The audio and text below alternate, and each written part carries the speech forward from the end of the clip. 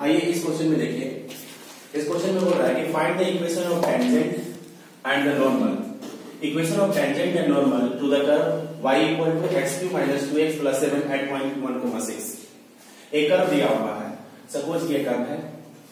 y equal to x cube minus two x plus seven ठीक है? और we have to find the equation of tangent और की equation of tangent ये tangent है इस कर्व में। ठीक है? तो इस, इसका इक्वेशन फाइंड करना है।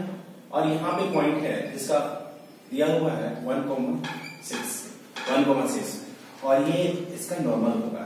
ये नॉर्मल लाइन है। तो ये नॉर्मल है ये नॉर्मल और टेंजेंट और नॉर्मल दोनों परपेंडिकुलर है। और यहाँ पे पॉइंट जो है वन कोमा सिक्स तो हमको ये दोनों लाइन का, अगर सपोज़ ए बी टेंजेंट है तो ये इसका नॉर्मल होगा। तो नॉर्मल लाइन CD है। तो ये ये दोनों एक लाइन का हमारा क्या करना है? इक्वेशन फाइंड करना है। तो आइए सबसे पहले जो दिया हुआ है कर्व गिवन कर्व को डिफरेंशिएट कर रहे हैं। गिवन कर्व क्या है? Given y equal to x की minus two x plus seven ठीक है? इसको डिफरेंशिएट कर रहे हैं with respect to x differentiate both the side both the sides with respect to x तो क्या होगा? y का dy बाई डी एक्स और x cube three x square minus two point given है। इसका पे पॉइंट क्या है? वन कोमा सिक्स तो क्या हो जाएगा? D y by d x d y by d x at one comma six क्या होगा?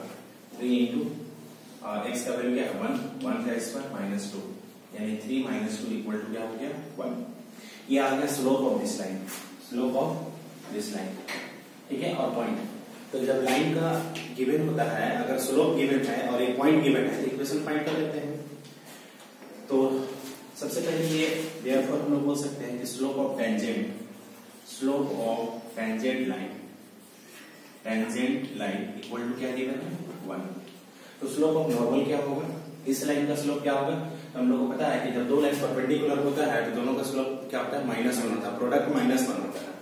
तो देयर फोर स्लोप ऑफ़ क्या होगा? नॉर्मल स्लोप ऑफ़ नॉर्मल जो होगा, क्या होगा?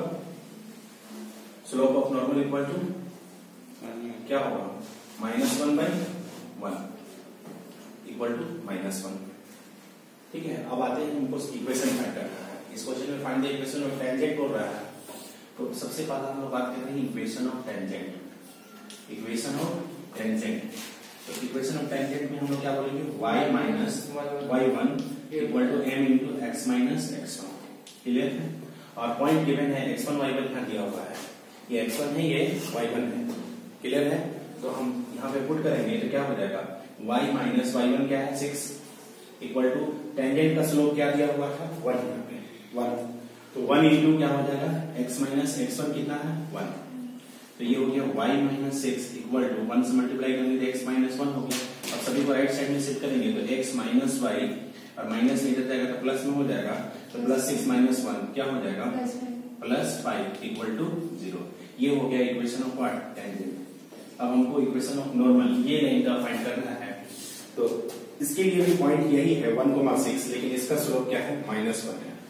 तो सिमिलरली हम लोग फाइंड करेंगे क्या? Equation of normal equation of normal equal to क्या y minus y one equal to m into x minus x one तो y minus y one same है एक्स वन वाई वन क्या है? Six और m कितना है? Minus one है. Slope of normal minus one clear है? और यहाँ पे हम लोग x minus x one point करेंगे तो x वन क्या है? वन है. तो y minus x equal to minus x plus one अब सपोज़ लेफ़्ट साइड में शिफ्ट कर रहा हूँ दोनों को तो माइनस लिख रहा है तो प्लस में है, ये पहले से प्लस में है।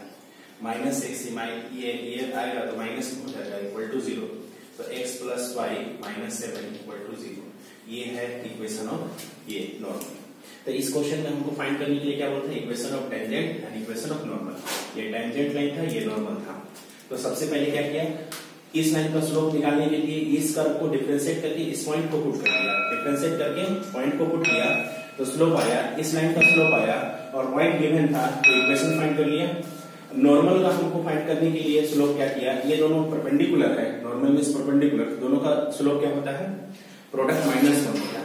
तो minus one by given slope ये जो स्लोप निकाले, इसका स्लोप आया, और इसका स्लोप पता चल गया, ये पॉइंट है।